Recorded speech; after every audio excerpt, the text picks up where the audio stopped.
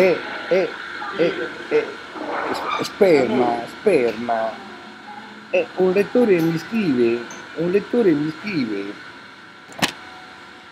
l'editore Ugo Falace, l'editore della grande casa editrice Centro Leonardo di Genova, mi, mi ha scritto l'editore Ugo Falace informandomi che un lettore ha utilizzato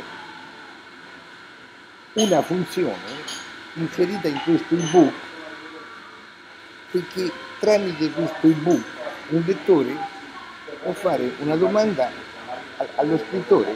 Pensate un po' come, come, come siamo andati avanti eh, sul piano tecnico informatico. Per cui un, un lettore mi ha fatto una singolare domanda me l'ha fatta tra, tra, tramite tramite l'ebook, capito? Tramite questi ebook che ora nella sua bella traduzione in lingua inglese sta in tutto il mondo, ma c'è la prima versione in lingua italiana, capito? Beh, allora, poi io la domanda ve la metto nel riassunto di questo video, la domanda grosso modo è questa, è una domanda che ti colpisce al cuore. E siccome io, ma non solo io, io sostengo che tutto nasce con la scoperta della funzione dello sperma, è la scoperta della funzione dello sperma che sta alla base della nascita della proprietà privata. E il lettore, ma come poteva la scoperta della funzione dello sperma integrarsi diversamente dentro la società matriarcale in maniera che, che, che, non nascesse questo patriarcato devastante che porta ovunque guerre e distruzioni. Eh. E caro amico, caro amico lettore, io ho riflettuto a lungo sulla questione, ma eh, non, non, non, non, riesco a trovare un'alternativa a ciò che è accaduto, perché una volta scoperta la funzione dello sperma, e gli uomini si sono sentiti investiti eh, di, di, di, una funzione divina, divina, hanno detto. Anche noi, o forse più noi che le donne, e partecipiamo alla perpetuazione della specie.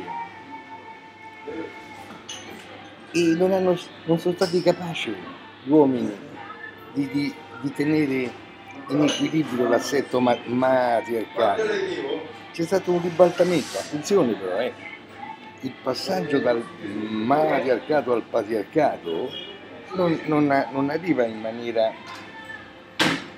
improvvisa, c'è un lento passaggio dal matriarcato al patriarcato che può durare anche moltissimi secoli e anche forse qualche millennio e alla fine c'è il ribaltamento si passa dal diritto materno al diritto paterno e il diritto paterno prevede la, la sottomissione della donna e come vediamo anche oggi. Anche oggi, anche oggi valgono sempre per, per i cristiani, per gli islamici e per gli ebrei i dieci comandamenti dove c'è scritto non desiderare la roba d'altri e non desiderare la donna d'altri.